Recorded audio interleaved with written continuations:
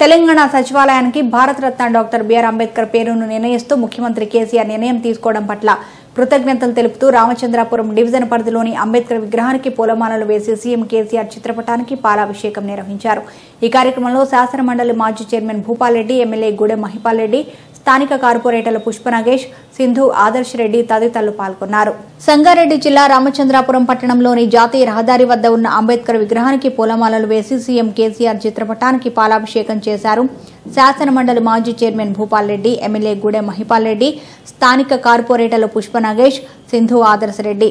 ఈ సందర్భంగా వారు మాట్లాడుతూ రాష్ట్ర ప్రభుత్వం రాష్ట్ర ముఖ్యమంత్రి కేసీఆర్ ఒక్క సంచలన ఆలోచనతో నిర్ణయం తీసుకొని తెలంగాణ రాష్ట్ర సెక్రటేరియట్ను డాక్టర్ బాబాసాహెబ్ అంబేద్కర్ నామకరణం చేయడం తెలంగాణ ప్రజల గౌరవాన్ని కాపాడి ప్రజలు హర్షిస్తారు. అదొకటే కాదు తెలంగాణ సమైక్య దినోత్సవం సంబరాలు మూడు రోజులు నిర్వహిస్తున్నారు. నిన్న ఎస్టీలకు భవనం కూడా ప్రారంభించడం జరిగింది. అలాగే గిరిజన బంధు కూడా ప్రవేశపెట్టడం జరిగింది. బడుగు బలహీన వర్గాలకు ప్రభుత్వం సంక్షేమం ఒకవైపు అభివృద్ధి ఒకవైపు మళ్ళీ ప్రజలు మూడోసారి ముఖ్యమంత్రిగా కేసీఆర్ని గెలిపించుకునే రాష్ట్రాన్ని అభివృద్ధి దిశలో ముందుకు తీసుకుని వెళతామన్నారు ఈ కార్యక్రమంలో మాజీ కార్పొరేటర్ అంజయ్య టౌన్ అధ్యక్షులు ఆలూరి గోవింద్ బూన్ పరమేష్ యాదవ్ సోహెల్ కృష్ణకాంత్ ఐలేష భాస్కర్ భేకు యాదయ్య నరసింహ కుమార్ నర్సింగ్ అశోక్ ఆనంద్ నరేష్ స్వామి రాజు నాయకులు కార్యకర్తలు తదితరులు పాల్గొన్నారు. అందరికీ నమస్కారం.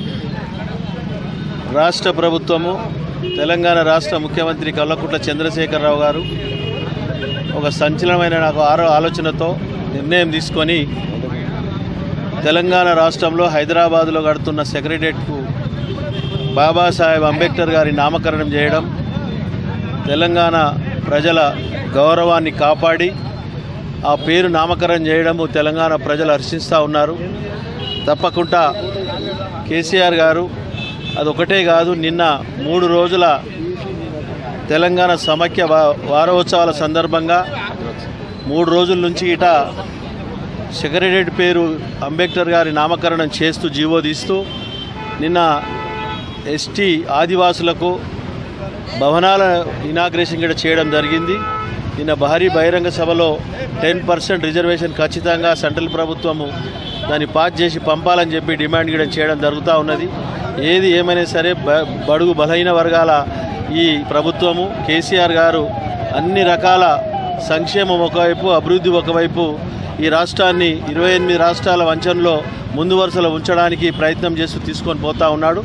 తప్పకుండా రాబో కాలంలో తిరిగి టీఆర్ఎస్ ప్రభా ప్రభుత్వానికి పట్టం కట్టి తిరిగి మూడోసారి ముఖ్యమంత్రిగా చేపట్టడానికి ప్రజలు సిద్ధంగా ఉన్నారు కాబట్టి ఈ మన రాష్ట్ర ప్రభుత్వం తీసుకున్న నిర్ణయాలు ప్రజలు పూర్తిగా సమర్థిస్తూ ఉన్నారు హర్షిస్తూ ఉన్నారు ఆశీర్వదిస్తూ ఉన్నారు.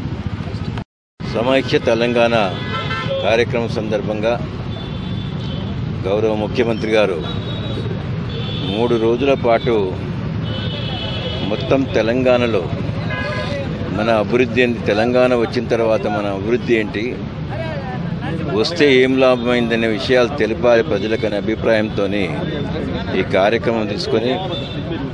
మరి ఈ కార్యక్రమం ద్వారా గత మూడు రోజుల నుంచి ఎన్నో కార్యక్రమాలు తీసుకొని ప్రజలకు మేలు జరిగే విధంగా తీసుకున్న గౌరవ ముఖ్యమంత్రి గారికి ధన్యవాదాలు తెలుపుతూ అదేవిధంగా మరి కొత్తగా నిర్మాణం చేసిన మరి సెక్రటరియట్ను వారు అంబేద్కర్ నామకరణం చేయడం వల్ల ఈరోజు వారికి శుభాకాంక్షలు తెలుపుతూ గౌరవ ముఖ్యమంత్రి గారు తీసుకున్న అంబేద్కర్ పేరు పెట్టి తీసుకున్న నిర్ణయానికి వారికి మేమంతా కూడా మన ఊరి తరఫు నుంచి వారికి అభినందన తెలియజేస్తూ ఈ కార్యక్రమం ముఖ్య ఉద్దేశం అదే మాట అని తెలియజేస్తూ అందరికీ నమస్కారం.